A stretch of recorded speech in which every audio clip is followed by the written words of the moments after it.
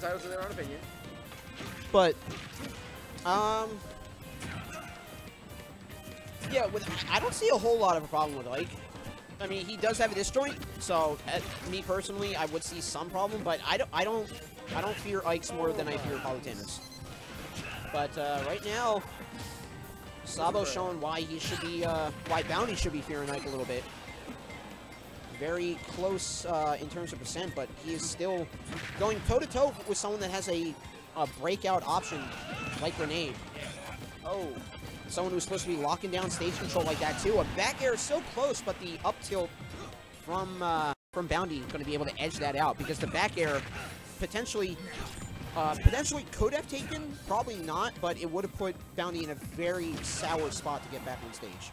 Now that I think about it, that I think about it, Ike might be at a far larger disadvantage here than thought, or than I would have imagined. Counters the Cypher, knows the Cypher hits before uh, any opportunity for a frame two comes in when he calls the Cypher out.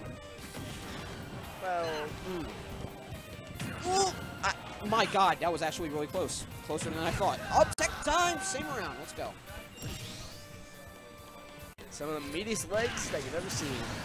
Dash attack, gonna do the work.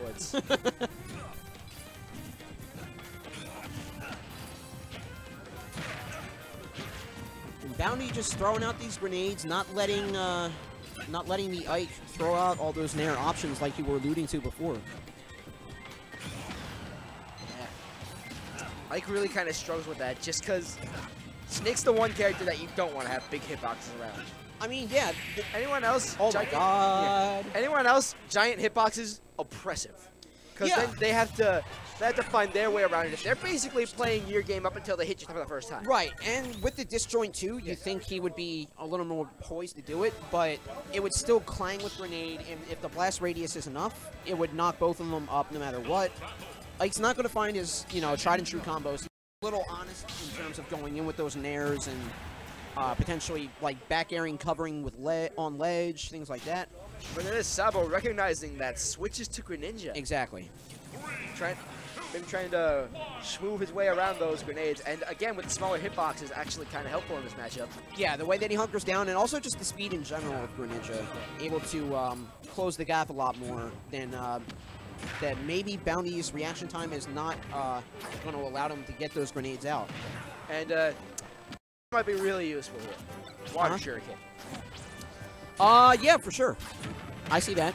Um, Because when when Snake's projectiles fly in an arc, which most of them do, yeah, the Water Shuriken can just flow right underneath them, and it's so fast that it's not gonna. The grenade's not gonna reach it by the time it reaches Snake. yeah, yeah. You have to fine tune the arc a little bit, but maybe not with the Nikita, as that tried and true ledge trap comes in, able to claim the uh, first stock on him. That was an up air like that was. Trying to pursue yet again. Oh, okay. Watch that C4, yep. Okay, up smash not finding its uh, double hit. But the fair Wow. will take out. Sabo stepped up his game from the last Greninja. Mm-hmm. Nair into tilt, very nice. It's just a better matchup. I just love how he stomps the, the air like that. It's ridiculous. Here's a frog. I mean, Frog's s- gotta how jump. Snake's like down air is just stomp, stomp, stomp. stomp. It's like he's he's a floating tantrum child. No, floating candy child is there.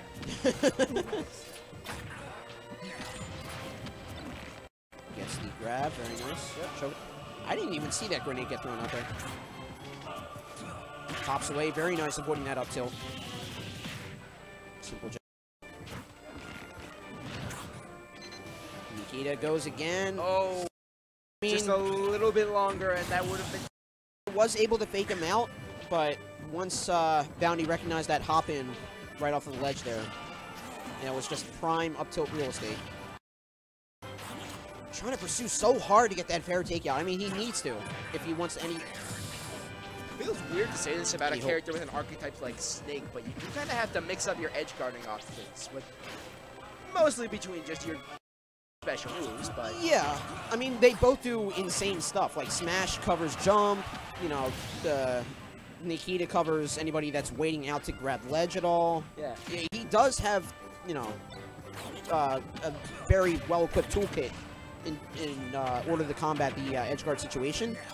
But like you said, yeah, you have to be somewhat committal because the up smash does take time to come out. Nikita, you're stuck in there until you drop it. Yeah, for sure. Shields through a grenade. That's exactly what Boundy was doing, so Sabo just answered in earnest. Was able to get the grab out of it. And again, second time, same happened. Sabo's Oh, really wow, he had that. If he let that loose. Blast radiuses. And just like that, we're gonna be moving on. Ow. All right. yeah, the blast radius coverage of that uh, RPG. That, that's one way to end the game. Ouch. Both for Sabo Strider for Zoomers. and that lump of spit that was caught in my throat there. But that will be uh, one side of losers, but we are just about close to wrapping up on winner's side as we have Blazing Pasta versus Sparky sitting down to play out winners finals.